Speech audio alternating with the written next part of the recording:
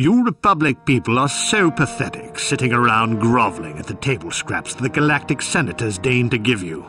It makes me sick. The senators work for the good of the whole galaxy, not for individual gain. Ha! Don't make me laugh, you gutless simp. It's the destiny of weak-minded fools like you to be ruled over by the strong, like we Sith. I'm warning you. Don't push me or you'll get just what you're asking for. Try it. Just try it. I'd love to see you throw the first punch. And with all the cameras around, the Selkath would be all over you inside of 30 seconds. You break their laws.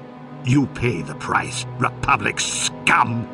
But I can see that you're not man enough to back up your words anyway. If you ever feel like relieving yourself of your worthless existence, feel free to come by our enclave here. We have many, many ways to fulfill your wish.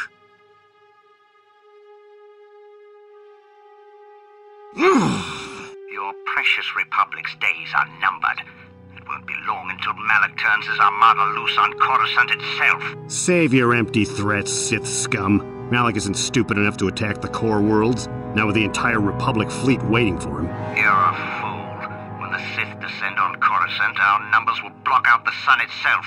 The galactic senators will collapse trembling in fear and beg for mercy at Malak's feet. You underestimate the Republic's resolve. We'll die before we surrender Coruscant. That can be arranged. Remember what happened to Taris. Malak could do the same to the core worlds. He wouldn't dare. Now it is you who underestimate our resolve. We might have a position within the Sith organization for one such as you. Your offer is pretty good. But I've heard some nasty things about you, Sith. Is it true you bombed Taris into dust? This is war. In war, certain distasteful acts cannot be avoided. But ask yourself this when we win this war, would you rather be against the Sith or with us? You make a good point. And I'd never turn down a job that pays up front. Excellent. Report to the Sith Embassy tomorrow for your assignment. So, do we have a deal? That's an awful lot of money. Is there something you're not telling me? Don't be so suspicious. The Republic is generous. We pay our mercenaries well. Makes sense, I guess. All right, I'm in. When do I start? Just show up at the Republic Embassy tomorrow and speak to our representative there. I'm sure he'll have some task he wants you to start on right away. How much for all this stuff, Tyvark?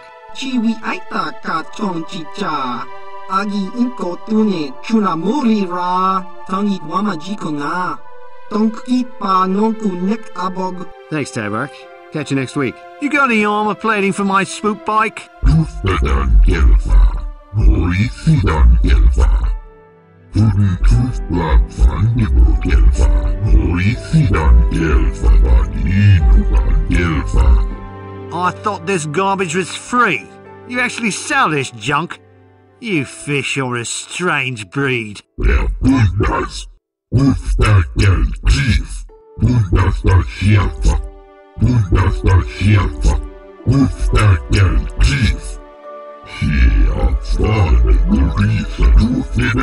Don't worry, junk man. When I want garbage, I'll be back. We might have a position within the Sith organization for one such as you. Your offer is pretty good, but I've heard some nasty things about you, Sith.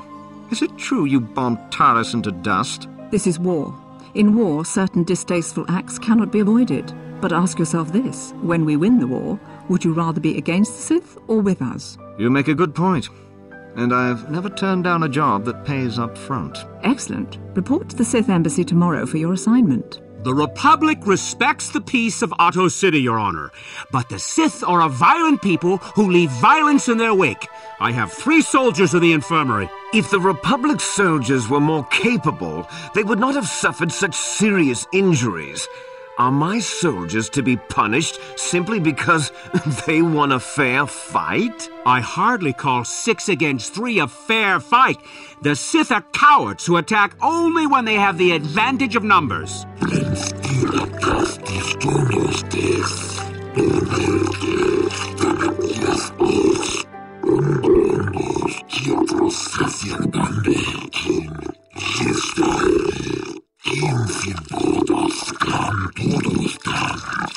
They were provoked, Your Honor. The Sith goaded them into this fight.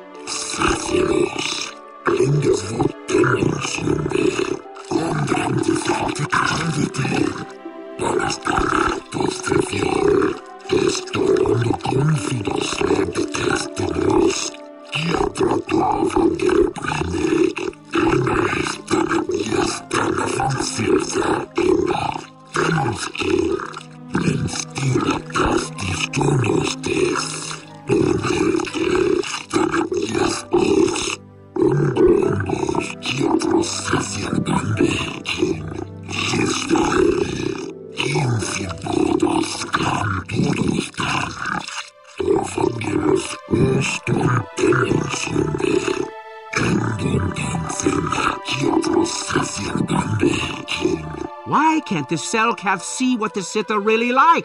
They should ban them all from this planet. One day soon, the Selkath will pay for the indignities they have inflicted on the Sith.